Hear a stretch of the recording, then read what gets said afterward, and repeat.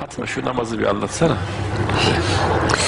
Şimdi namaza diyorlar ki hani büyük insanlar, alimler falan e, biz namaza durduğumuzda titrerdik böyle eda edebilecek miydik, sararır solardık falan. Ama ben namaz, onlar korkudan yapıyormuş. Ben namaza durunca sevinçten titriyorum. İster istemez Allah'ım ben geldim. Kulum Fatma. Unutmadım. Ben geldim. Bak yine hatırladım. Hatırlattım. Ne büyük bir şeref o secdeye durabilmek.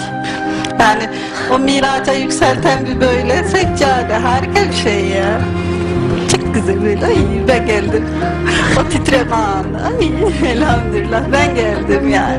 Oraya geldim. Başka başka bir sürü bir yere gidebilirdim ama gitmedim. Ben geldim. Hiç ayrılmak istemiyorum. Onun için geldim. Orada hep inşallah. Çok güzel. Allah'a ayırmasın. Amin amin. Rabbimize en yakın olduğumuz an yani hani peygamberimiz buyuruyor ya kiminle konuştuğunuzu bilseydiniz namazdan hiç ayrılmazdınız.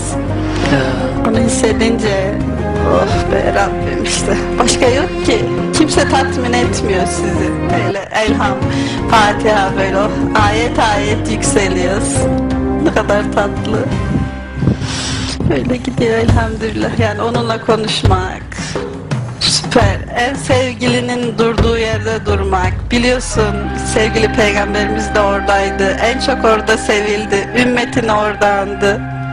Çok güzel. Namaz kılasımız geldi. İnşallah. Tamam. Kapasınlar televizyonu namaza dursunlar. evet. yani namaz kılmak çok zor bir iş. Her insan beceremez galiba. Yani öyle az buz bir iş değil yani. Aferin hak ettiğin yer yani. Aferin hak ettiğin yer değil mi? yani. İşte Fatma kulum namazda tam istediğim yerde. Ha, Oh. şimdi en sevdiğime benzedin. Muhammed'e benzedin aleyhissalatü vesselam. Şimdi beni en çok sevene benzedin. Muhammed aleyhissalatü vesselam gibi oldun. Maşallah. Benim en çok sevdiği, beni de en çok sevenin seni en çok sevdiği yerdesin. Maşallah. Aferin.